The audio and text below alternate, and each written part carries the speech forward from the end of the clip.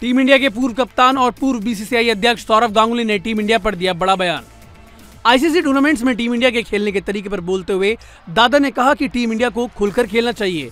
उनकी बल्लेबाजी में बहुत गहराई है और आपको एग्रेसिव क्रिकेट खेलने की ज़रूरत है। तभी आप आईसीसी टूर्नामेंट्स जीत सकते हैं। पूर्व ऑस्ट्रेलियाई कप्तान एरॉन फिंच ने आईपीएल में लखनऊ सुपर जायंट्स को लेकर की बड़ी भविष्यवाणी। फिंच ने कहा कि मुझे नहीं लगता है कि एलएसजी अपने पिछले साल के प्रदर्शन को दोहरा पाएगी। मुझे उनकी टीम में कमी लगती है और वो ये है कि उनके पास एक भी अच्छा डेथ बॉलर नहीं है। आपको बता दें, अपने पहले ही सीज़न में एलएसजी ने शानदार प्रदर्शन करते हुए प्लेऑफ में बनाई थी जगह। टीम इंडिया के पूर्व कप्तान महेंद्र सिंह धोनी के चाहने वाले तो पूरे देश में हैं। और अगर बात की जाए चेन्नई की तो यहाँ दीवानेपन की सारी हदें पार हो जाती हैं। ऐसा ही कुछ चेन्नई सुपर किंग्स के प्रैक्टिस सेशन में देखने को मिला, जहाँ सिर्फ़ धोनी को खेलते देखने के लिए हज़ारों लोगों की भीड़ जमा हो गई। आपको बता दें, चेन्नई सुपर किंग्स अपना पहला मुकाबला गुजरात के खिलाफ 31 मार्च को खेलेगी। आईपीएल 2023 की शुरुआत से पहले बीसीसीआई लगातार एक्शन में। है इस बार श्रीलंकाई खिलाड़ियों पर बड़ा फैसला लेते हुए बीसीसीआई ने श्रीलंकाई बोर्ड को और खिलाड़ियों को राहत दी है। आपको बता दें, पहले खबरें ऐसी आ रही थी कि आईपीएल के शुरुआती मैच मिस करने की वजह से बीसीसीआई श्रीलंकाई बोर्ड और खिलाड़ियों पर कड़ा एक्शन ले सकता है। ऑस्ट्रेलिया के हरफन मौला खिलाड़ी कैमरन ग्रीन मुंबई इंडियंस के कैंप के साथ जुड़ गए हैं।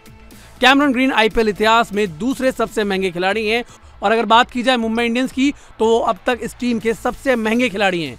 ग्रीन के साथ साथ कप्तान रोहित शर्मा ने भी टीम के साथ प्रैक्टिस शुरू कर दी है।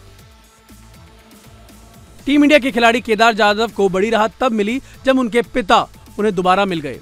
आपको बता दें कि केदार जाधव के पिता लापता हो गए थे, जिस बात की जानकारी केदार जाधव ने खुद सोशल मीडिया पर दी थी। पुलिस ने तुरंत कार्रवाई करते हुए कुछ घंटों के अंदर ही केदार जाधव के पिता को ढूंढ लिया और परिवार को सौंप दिया। न्यूजीलैंड और श्रीलंका के बीच खेले जाने वाले वनडे सीरीज़ का दूसरा मैच बारिश की भेंट चढ़ गया।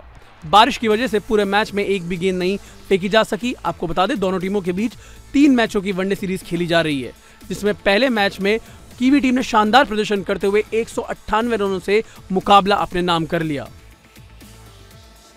भारत की शीर्ष ग्रैंड मास्टर कॉनेरो हम्पी ने महिला ग्रैंड पी सीरीज़ के तीसरे टूर्नामेंट के पहले राउंड में खेला ड्रॉ पहले राउंड में कॉनेरो हम्पी का मुकाबला हरिका द्रोड़वल्ली से हुआ.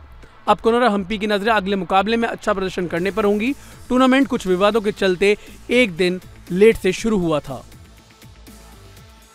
स्टार फुटबॉलर खिलाड़ी केलिन एम्बापे की कप्तानी में फ्रांस ने शानदार प्रदर्शन करते हुए यूरोपियन क्वालिफायर्स में आयरलैंड को एक शून्य से दी मात.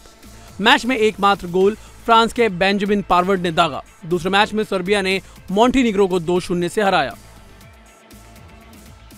मियामी ओपन के अपने पहले मैच में शानदार खेल दिखाते हुए सिसिपास ने हासिल की जीत।